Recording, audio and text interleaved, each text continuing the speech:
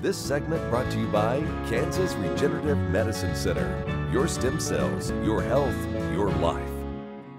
Good Wednesday morning. I'm Deb Goodrich. Welcome to Around Kansas. I've been pretty busy. I'm sure you have as well. I was in Philadelphia for a week on business and pleasure. It was a wonderful time with dear friends, and I'm going to share some segments with you in the coming weeks that feature some of the adventures I had while I was there. I also spoke, uh, had several presentations actually for Kansas Day.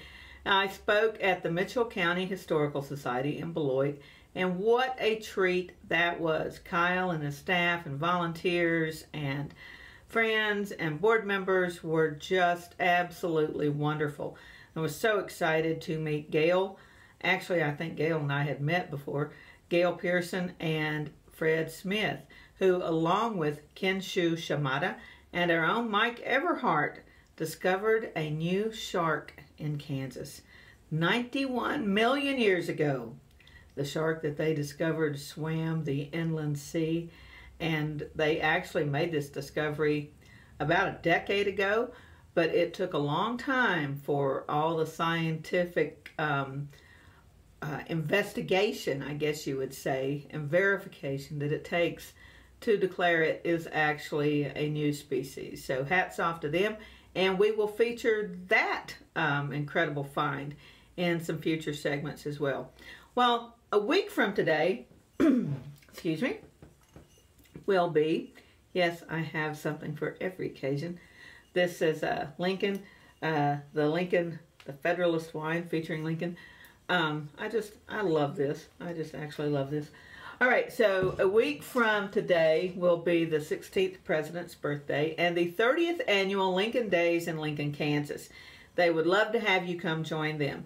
On Wednesday, February 12th, there will be a formal dinner in the evening at the Marshall Yohe House there in Lincoln and I hope to be there. I, I really, really want to make this.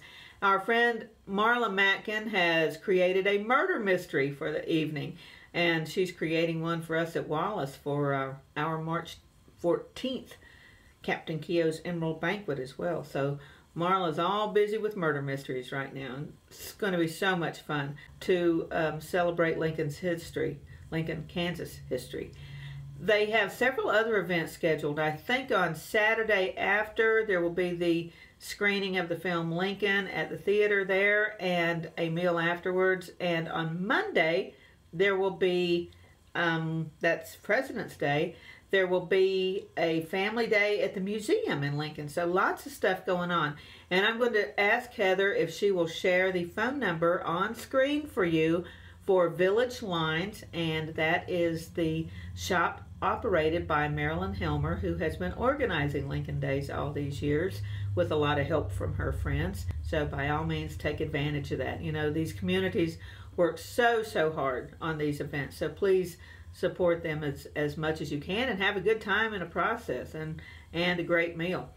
So lots of great stuff coming up. And I also wanted to take just a moment to thank our sponsors. Nothing happens without them. And they're not only our sponsors, they're our friends and neighbors. And so we invite you to support them as well. And if you would like to be a sponsor, just send me a message.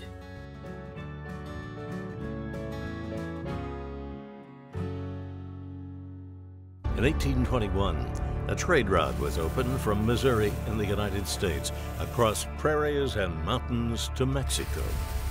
In 2021, we will mark 200 years of epic conflicts and grand adventures, larger than life personalities, and sweeping landscapes. Join us on an historic journey. The Santa Fe Trail lives on. Find us on social media or santafetrail.org.